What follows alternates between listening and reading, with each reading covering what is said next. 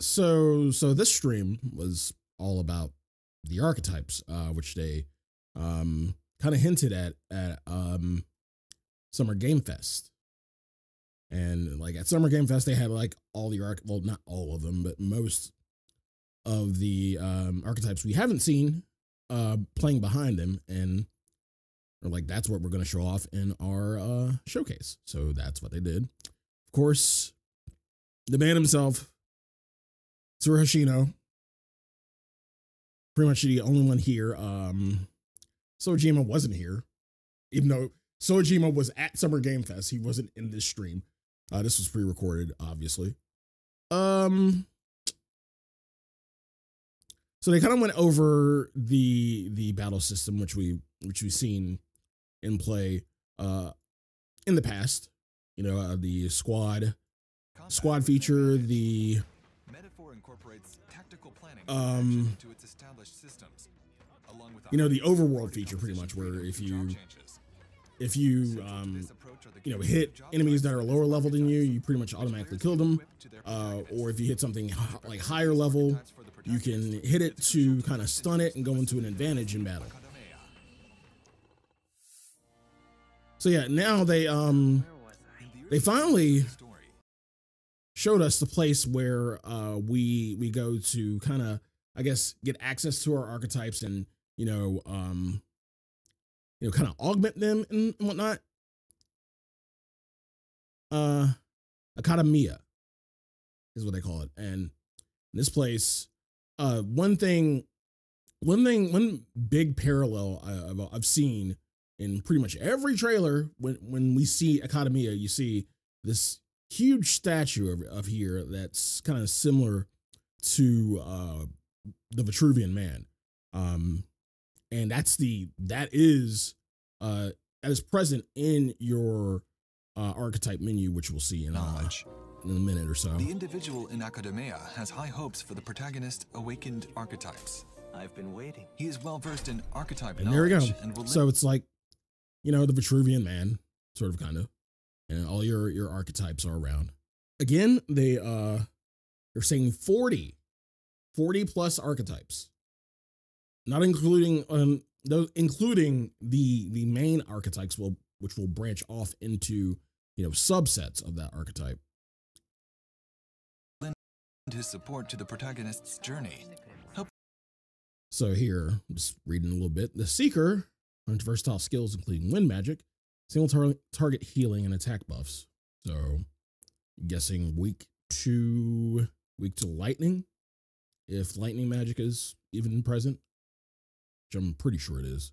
helping him to awaken archetypes. The healer, excellent at magic magical support. It can restore health, cure status ailments, and cast light magic. So weak to kind of Mudo, um, if you would, or dark or curse magic. Archetypes are managed Uh, the knight, and this again reading them out because this is the first time we're seeing them. This protector can increase its own defense or draw enemy attacks, useful for redirecting otherwise otherwise deadly blows. So knight are probably more of an individual defense. Uh, there's probably a subset, either a subset or better archetype that's more more aligned with team defense. So uh, there, it probably evolves into something that will allow you to defend the put defense on the entire team. So when you think of skills, you think of your regular skills and then your Ma skills, which Ma, the prefix Ma affects everything. So a Mahama would be light on all the enemies. A Ma, I'm trying to think what um Ma, not Makarakarn. Um, Damn, I can't think of the uh defensive. Um, Marakukaja. There it is. It, it it had to come to me. So Marakukaja would be your defensive on everybody. Matarukaja would be your, you know, attack buff on everybody. So I'm guessing there is like an evolution in the skill that would just in the um archetype itself that would focus on on um team defense rather than just uh individual defense like the knight. in lineages such as this one. The warrior, skilled in physical slash, attacks with a sword. It cuts down foes with strong single target damage. See, it, it, it's it's focusing on single target things. So yeah, when you when you kind of evolve it, it will focus on AOE. branching out as they are acquired during the journey. The mage, using fire, ice, and electric, so it's present, uh, excels at hitting enemies' weak points. So your mage, like whenever I whenever I play Megaten games, I I like to like Megaten, Persona, what have you. Uh and this is vastly different. Um because like Persona, I'll, I'll use Reload as an example. I like to make elemental overlords because it's one thing to have a it's one thing to have a demon or a persona that covers one one um element. No i like to have them cover as many elements as possible. If they if one thing slips that's fine. Somebody else can cover it. But usually i like to have an elemental overlord and that's uh i think mage like like mage says it covers pretty much everything except for light and dark maybe so there's probably a it's probably it probably evolves into something that will cover everything This is a game screen from the early stages of the story. So right now we only have access to the initial archetypes with basic skills. But once you're able to swap archetypes, the real game strategy begins.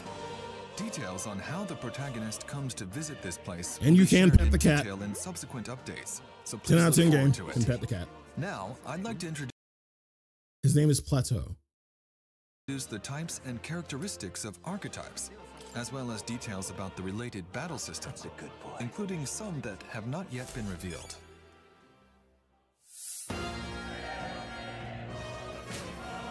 In the last live stream, we introduced the different types of archetypes, including some of the foundational ones. The versatile Seeker, who is a well-rounded archetype, I'm gonna go back to the, uh, the including skills. some of the foundational ones. The vers- God damn it. Different types of archetypes, including some of the foundational ones. So sick and day. Sick being, you know, the prefix for cyclone, I guess. So wind. The versatile Seeker, who is a well-rounded archetype. The Mage, Is it bolt who can exploit the enemy's or bot? Oh, okay, bot. weak points with powerful magic. The Thief, skilled in abilities like robbery. The brawler. Diligent discipline, strike dodge, perfect punch. Skullcracker deals uh, physical strike damage to one enemy. So there, there's different damage type, um, physical damage types, of course. Uh, may inflict forget. Yeah, I'm curious as to what all the ailments and what all the ailments will be uh, in in the game. So forget is one. Um, I keep going. The Brawler, who excels in physical attacks using their fists. In terms of other initial archetypes,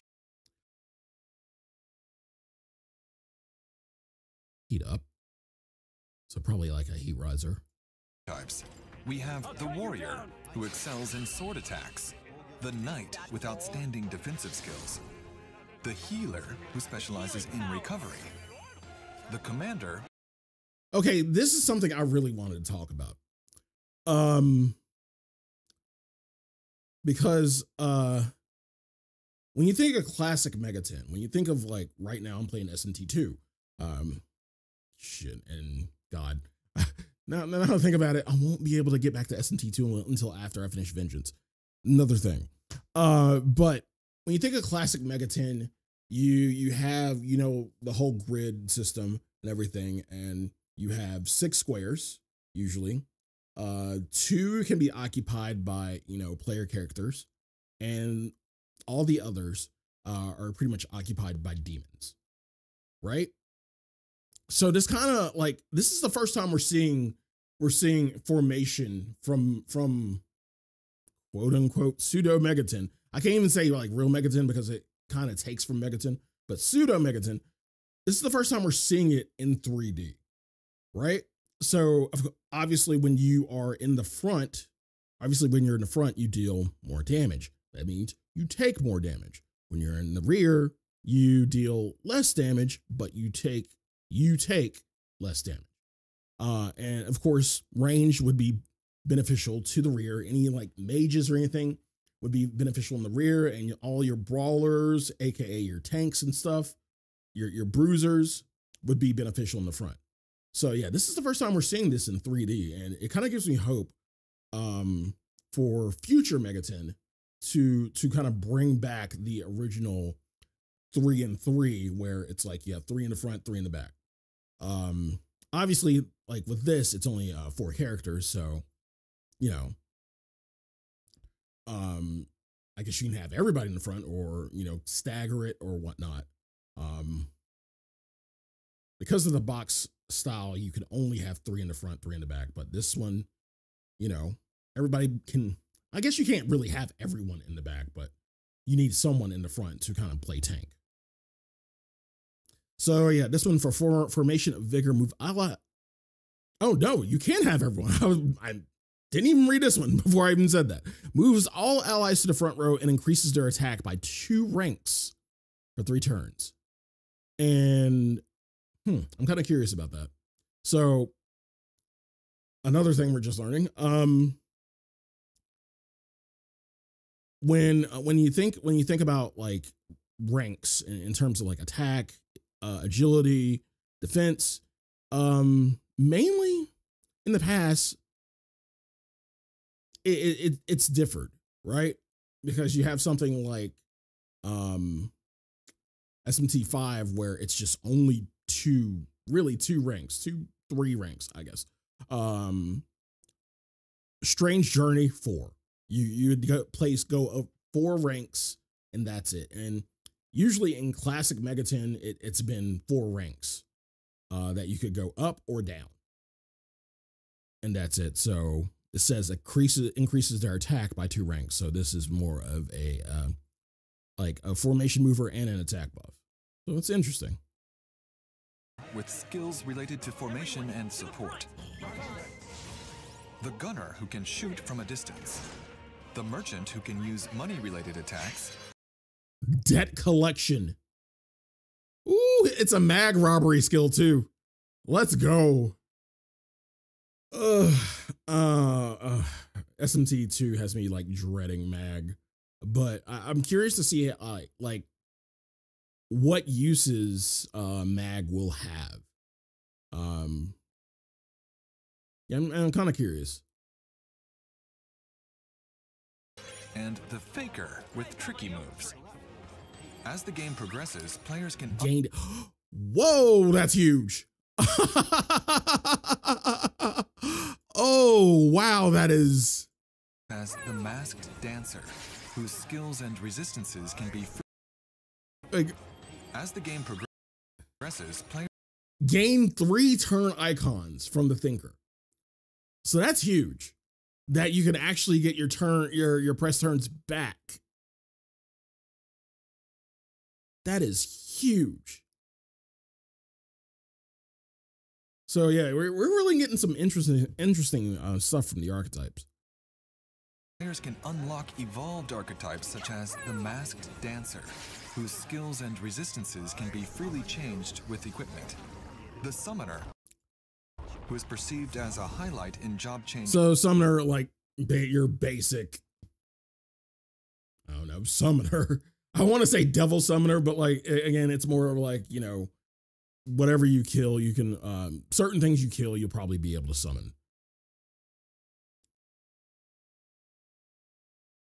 So I'm looking at Berserker skills right skills right now. Um, charge is basically a um, an up in damage. It's just it's either charge or con- like charge is to a physical what concentrate is to a ma- magical. It just basically charges or increases the uh, damage of your next attack.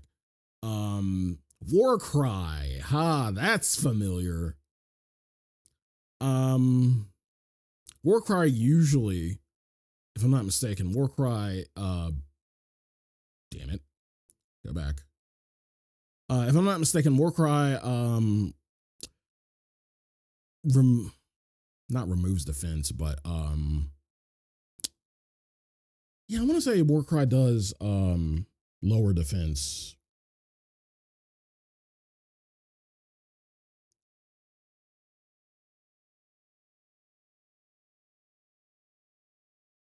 Uh, war cry.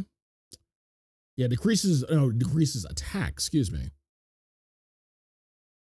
Highlight in job change games with its power to summon monsters, and the Berserker who has tremendous destructive power. So Berserker is probably um maybe AoE, mostly AoE. Basic archetype lineages, and when the variations of each archetype are added up. So 14 basic archetypes starting out. In total, there are more than 40 archetypes available.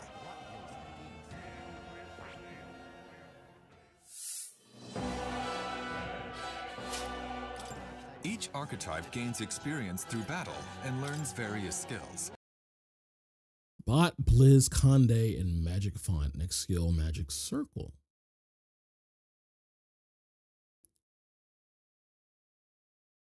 I'm curious how long the ranking process will be for each arc. Like, I know it's going to be different for each arch- archetype, but um, what I'm what I'm guessing for the archetypes is that like it's 40 plus. So let's let's say let's I'll I'll go with a number like 42, 43. Let's say you have 42 archetypes. And there's a do you have to get the final one you have to have possess the other 42. It's kind of like it's kind of like the uh, Magatama. It's gonna probably be like the Magatama in uh, Nocturne where you have all the Magatama but one. Um, to get masakados you had to get all the other Magatama and then go get masakados So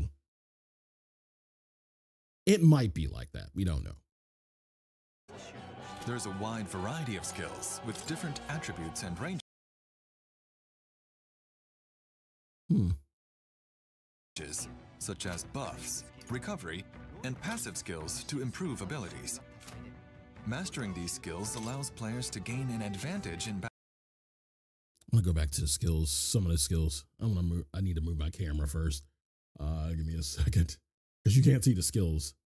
Um.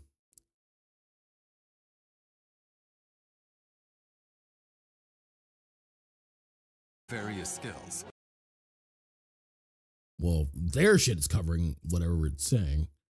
I want to say. I want to say that's magic font. It's probably magic font. Um. Hero passive in overall combat recovers MP each time an enemy is stunned or defeated. Nice. There's a wide variety of skills with different attributes and. No, that's not magic font. It was a different one. Um, barge, something. Um, hero passive being hit by an enemy attack during overworld combat will not trigger battle uh, with enemy advantage. So that's warrior. They did say warrior um, does have an ability to uh, not engage in battle if they're hit. Ranges such as buffs, recovery, and passive skills to improve. And Knight's passive, uh, hero passive, chance to reflect an enemy's attack in overworld combat. Chance. Just chance. Abilities. Mastering these skills allows players to gain an advantage. Strong enemies are stunned more easily in overworld combat. Pretty nice. Advantage in battles. Further. Ah, go back. Go back.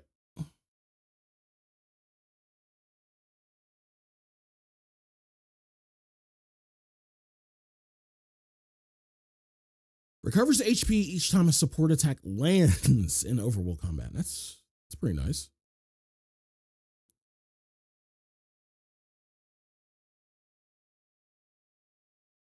Uh, it gets light dodge, but uh, already resists light. And yeah, I didn't even look at the the resistances and weaknesses. Uh, of course, weak to dark. Um,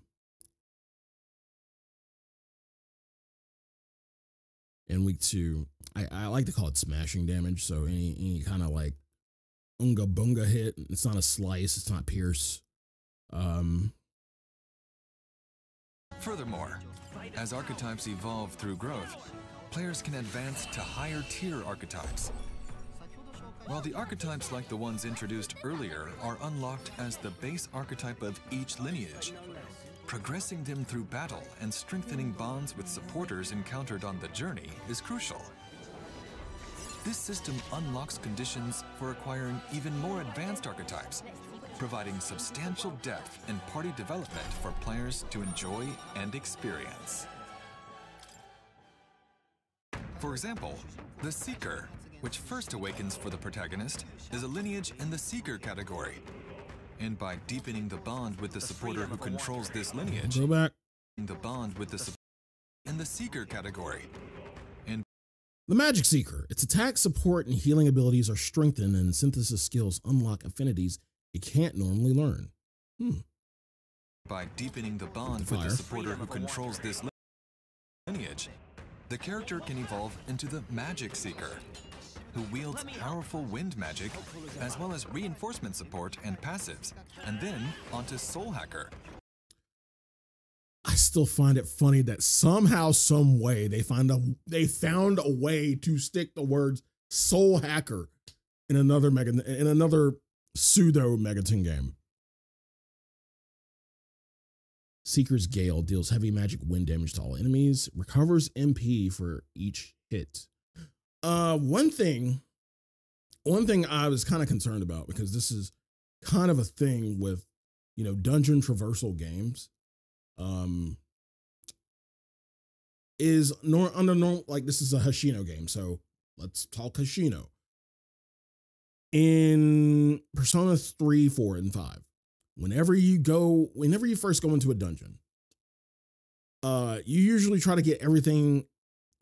I say you usually. Most veterans would usually try to get everything in one shot. Right? You get in, get the dun- knock the dungeon out in one shot and then do the boss, right? But that really ate at your MP or whatever your your magic your magic was.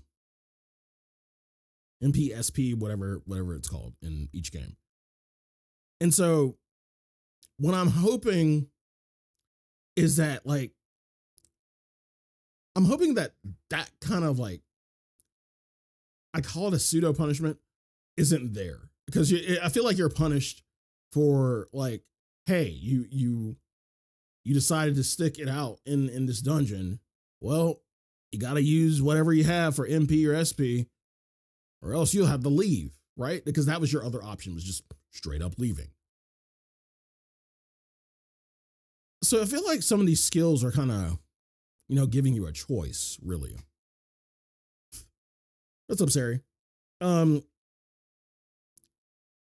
I feel like some of these skills like allow you to um you know hang on a little bit longer if if you want to just go it all out in one go. Um which again because there's time management here, we don't know how how affected we are by, you know, going in one day, coming out that eats up time uh and and whatnot. So yeah, it's I'm kind of hoping that punish that kind of punishment isn't there in the game. And if it is, like skills like this can counteract it. who has powerful magic such as additional MP recovery effects and penetration resistance. Yeah. Allows you to keep going. who can shoot from a distance.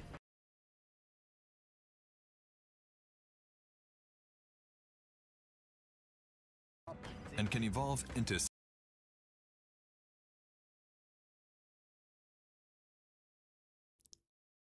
penetration resistance. The gunner, who can shoot from a distance. I want to see gunner abilities. Who can shoot from a Sleep shot only used from the back, only usable from the back row. Uh, deals weak physical pierce damage to one enemy, may inflict sleep. Also has poison shot. distance. Is a heroic figure in the ranged category. And can evolve Myriad shots, myriad arrows, basically. Only usable from the back row, deals weak physical pierce damage to all enemies. Wow.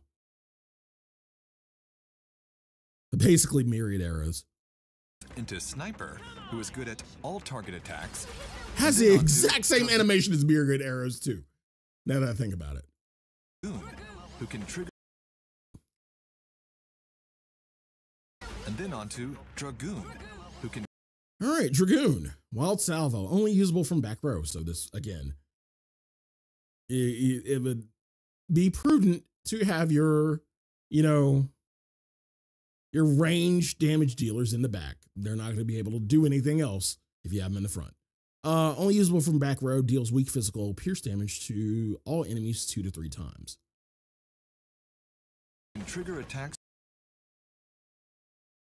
Red Feather only usable from back row, deals medium magic fire damage, and Feather was electric. Blue Feather is ice. With various magical attributes by deepening the bond with the supporter who controls this lineage. So basically magical magical um myriad arrows just with element on it. Each archetype variation is uniquely crafted with dedicated artwork, and the appearance of each character changes based on the equipped archetype. So I think you will enjoy the work. And this is just basically your your weapon, armor, accessories and yeah. very much. This title was created with the cooperation of guest creators, including Koda Kazuma for the background concept art and Ikuto Yamashita for the Gauntlet Runner design. The archetype designs, boasting over 40 variations, are not only designed by Shigenori Soejima, who is in charge of character design for this title, but also by Yuji Himukai, So let's talk about that for, a second. Um because when when you when the the the number of architects came up, right? Like because it's 40 plus, right? When you when you think about that number, like it's not a persona Megaten type of number because the, the number of um persona or demons um in, in, an- a Megaten game usually ranges around, I want to say like 80 to 90, maybe goes over 100 sometimes. 40. That's that's a little bit of a lower number. And and when you think about it, like it, it it's it's kind of reminiscent of Etrian Odyssey because you know you have all these Etrian Odyssey jobs, right? And I've only played like a few Etrian Odyssey games, but like the combination, the the amount of combinations that you could do with uh Etrian Odyssey jobs is bonkers. Uh, it's stupid sometimes, and I, I felt, I felt like, honestly, I felt like Etrian Odyssey was the was was more daunting than than Megaten ever because you have all these jobs and you want.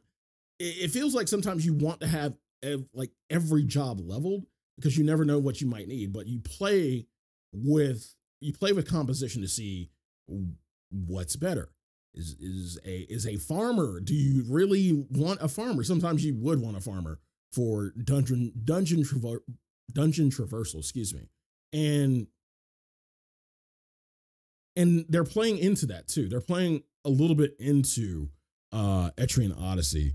Um um with the whole archetypes thing because uh, in a minute they're they're going to tell you how and how um, archetypes can affect your your traversal skills, your your fast blade skills. Excuse me.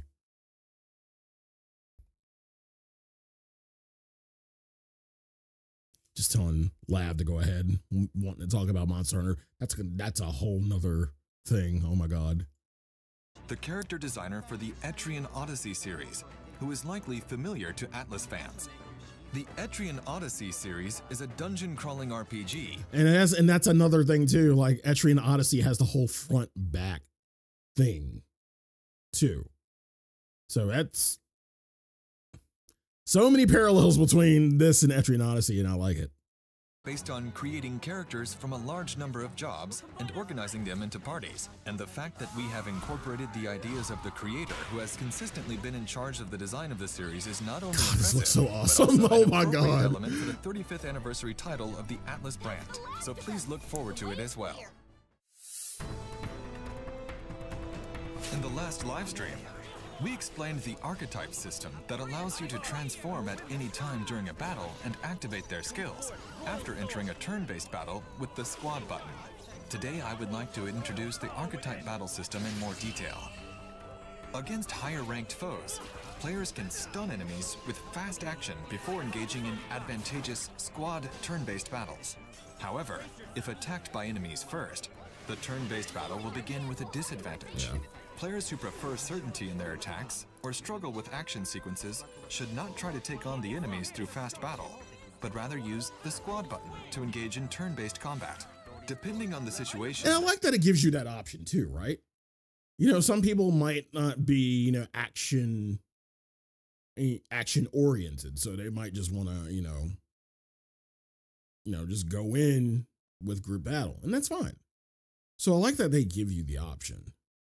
I'm gonna I'm gonna try. I'm gonna I'm gonna try to do the whole DMC thing, uh, and then get it. Try to do that and get an advantage. But again, it depends on what you're going up against. Because, uh, like from what we've seen, you you kind of have to dodge and whatnot.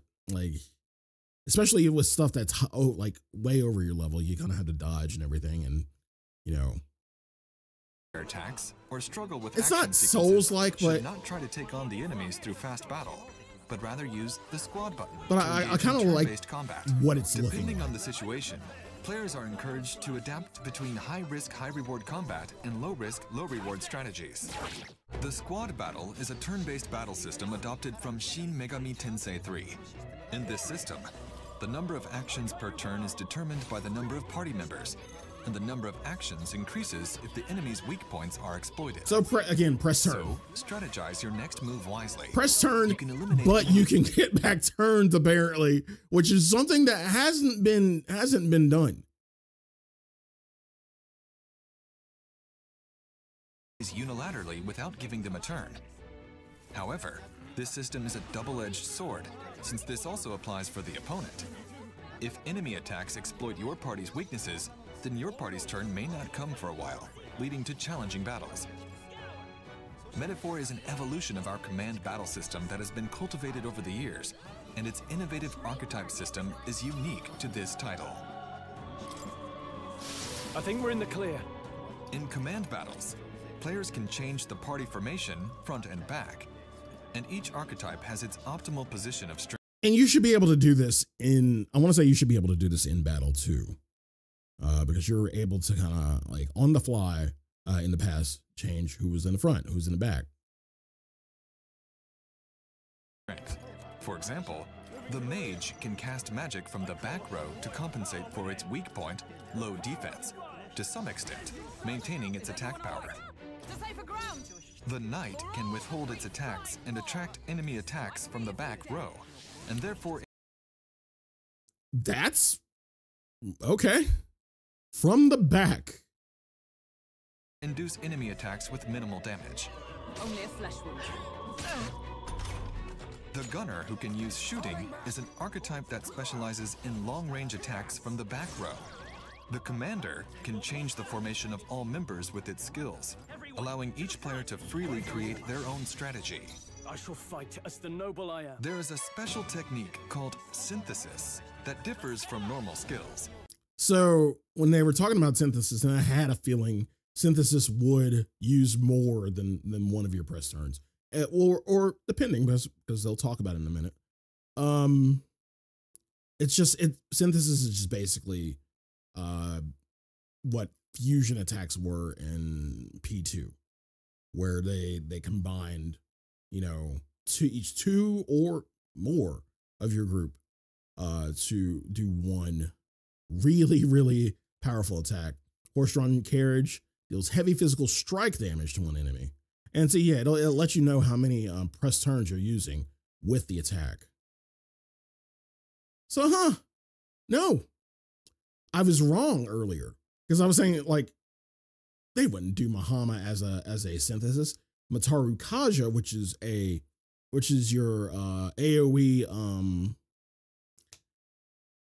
i say aoe which is a uh, all party attack buff is a synthesis wow so normally that's just a normal spell Matarukaja is just a normal spell Here they make it a synthesis. Okay. All right.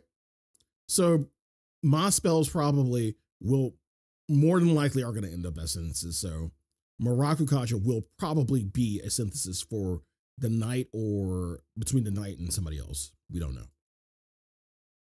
Synthesis, which means integration in psychological terms, is a system that allows archetypes to combine with other party members' archetypes.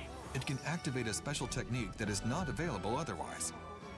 To perform this skill, it consumes more than a normal action as it consumes an additional action from your ally's turn as well. This technique is more powerful for that reason. For example, while a mage and healer can only target a single enemy with their Yep. Mahama synthesis.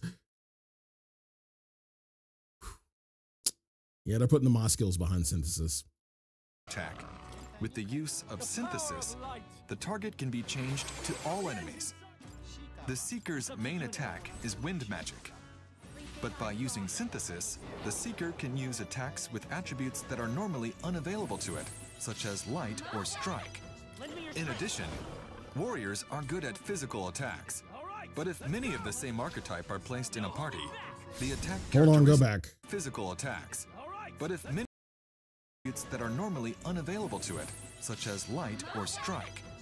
In addition, Bamboo, bamboo splitter, excuse me. Deals heavy physical slash damage to one enemy, adds one turn icon on a killing blow. Hmm. So basically, basically that's a turn. You're just basically using a turn with that if you kill.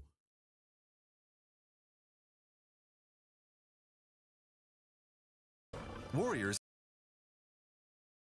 are good at God, they're hitting it so quiet, so quick, excuse me. warriors are Deals severe slash damage to one enemy as a turn. So yeah.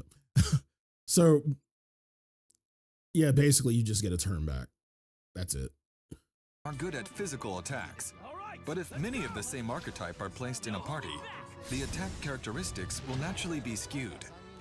However, the special synthesis attack that can be unleashed by three warriors can do a surprising amount of damage even in the early stages of the game. This system is an important element of the strategy, and if used properly, it can eliminate the enemies all at once. The activation conditions change depending on the combination of the party, so it is a fun element to try out different configurations and discover new synthesis combinations. Yeah, that's gonna be pretty nutty. Uh synthesis is gonna be pretty nutty when you, you think about like stacking all your all your buffs on it. So having a Tarukaja and then maybe a charge before doing a synthesis and then unleashing holy hell. Like that's that's gonna be pretty nutty. Moreover, the development team has worked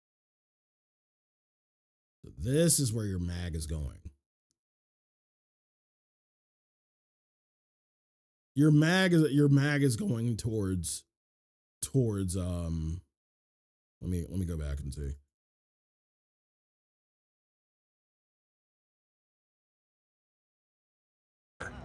The development team has worked hard to ensure that the diverse range of archetypes remains engaging even in the later stages, allowing players to enjoy different compositions. We aimed for a balance to avoid a situation where players' party compositions become similar as the So I'm guessing your mag is going into stats?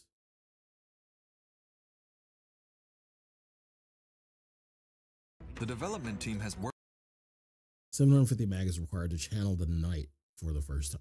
Oh no, no, no, that's not stats. It's just to awaken.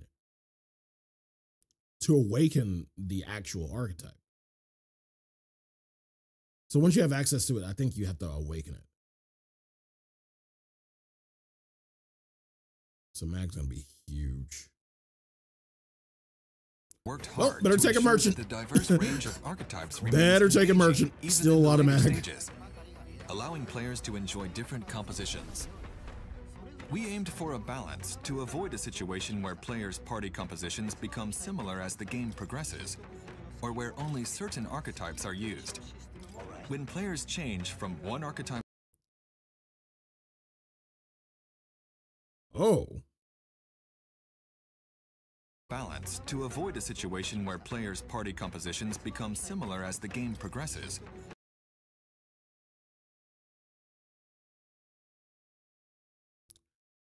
So you can pay to have skills inheritable. or where only certain archetypes are used. When players change from one archetype to another, they can inherit the skills they have already mastered to the new archetype. Huh. So you can make something completely broken or something to to cover weaknesses. Huh. Neat. Have a few skills.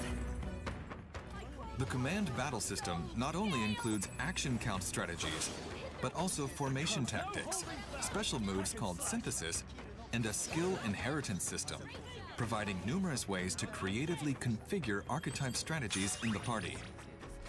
While the party consists of four members initially, it can expand to seven as the story progresses. All members can equip any of the 40 plus archetypes, so we hope players enjoy developing their unique strategies.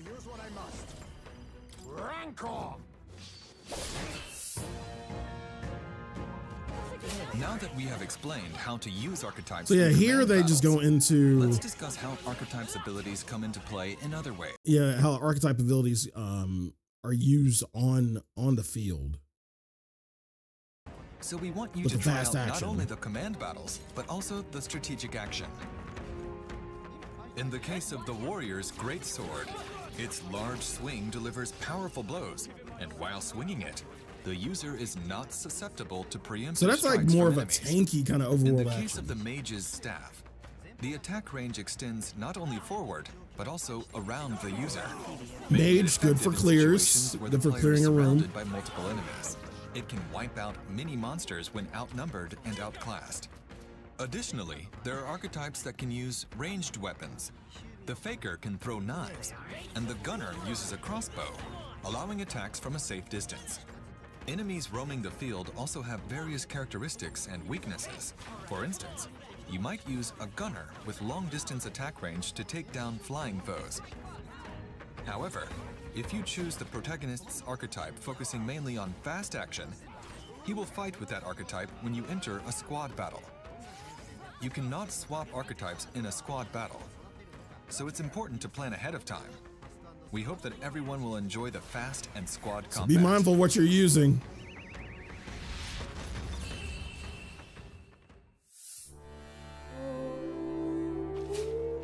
Let me also talk about Now, this is one thing I was really going to be concerned about. there are various enemies in the dungeon. And here we have a dungeon with a a clock. Huh. So there's a time-based dungeon. familiar creatures from fantasy worlds are recreated in a modern design. Some enemies that ambush you, some that hide underground, and some that appear in a group.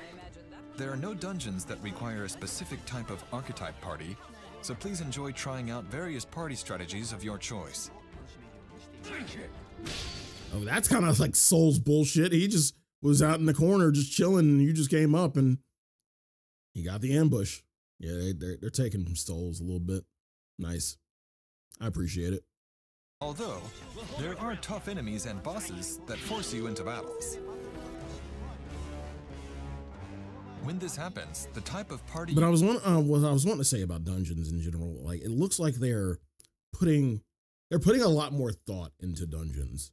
Um, where uh, as you know, in recent personas, they've just been more uh, kind of like a cinematic staple, and and not. I mean,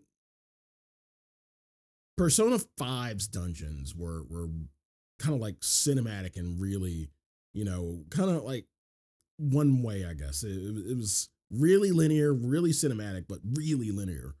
Um, and it looks like they're putting more thought into, you know, what a dungeon is. Uh, no dungeons that require a specific seeing seeing earlier, party. right, right So here in this time dungeon, fantasy worlds uh, are recreated in a modern design. you're getting affected by some something, by the mud or whatever that some is. that hide underground, and some that appear in a group. There are no dungeons that require a specific type of archetype party, so please enjoy trying out various party strategies of your choice. Although, there are tough enemies and bosses that force you into battles. When this happens, the type of party you bring will affect the battle. Draw steel. We are spotted. Monsters called humans are especially tricky to face, so beware. We think you will enjoy planning strategies for the battles ahead. Moreover, the degree of freedom in party formation and the fact that the difficulty level varies depending on which quest you conquer first can affect the perceived difficulty of battles. And a slight error in judgment can be fatal in this battle. The difficulty of the game can be changed at any time, and by using the retry feature, you'll be able to return Yeah, you to can the just top of the battle start the battle from the top. challenge again with Anytime. other strategies you might have thought of. So please rest assured that this game is made in a way that ensures all players can confidently take on the challenges. Additionally, a network feature allows players really interesting quality of life network feature that allows you to see like hey what your friends are doing and it even tells you what dif- difficulty they're playing on like it's seen easy normal normal normal this one's already reached level 99 on, on everything they have 20 rank 20 everything you know I thought this was really, really uh, unique. This is something we really haven't seen. I mean, in past network features, it tells you like what they did for the day and whatnot, but not what party they cleared a certain quest or certain boss with. So, eh. I'm kind of indifferent on it. I, I think I think it's kind of cool, but I'm kind of indifferent on it. You know, not everything will work for everyone. Everything everyone thinks differently, so it could be to your advantage. It could be a complete shit, and you're like, why the hell did how the hell did they clear with this? You know, to view the party compositions used by other players who've cleared the same dungeon. Available to view at any time. With the press of a button, you can instantly switch to those compositions, making it easier to adapt and strategize. I'm sure there are players who remember playing classic job change games based on the recommended information of specific party setups for certain dungeons. yeah. Back in the day, we did. Yeah, This network feature is like a modern version of that kind of playstyle. Above all, we wanted players to be able to see firsthand how other players are progressing in the dungeon they are currently conquering, using their own party composition and ingenuity, even though it is a loosely connected aspect. Well done.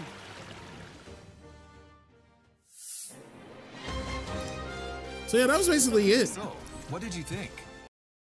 They just went into really good detail about the uh the archetypes and whatnot. They further describe the the bonuses. who pre-order will receive pre-order bonuses, including the Archetype EXP chest set and an Adventurer's Journey pack. Both in-game item sets are useful for battles Stale black breads deals 300 almighty damage to one enemy. Huh. 30,000 Reeve in game currency. Five expensive medicines.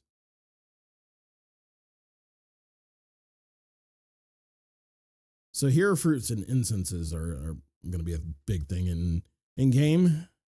Not really big, it's just something to be on the lookout for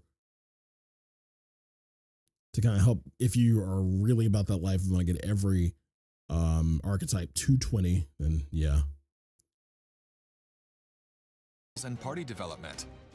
And then of course the great. collector's edition which again i i've heard uh just a little while ago that some are still available uh in the us and in canada. So get them if you are really thinking about it.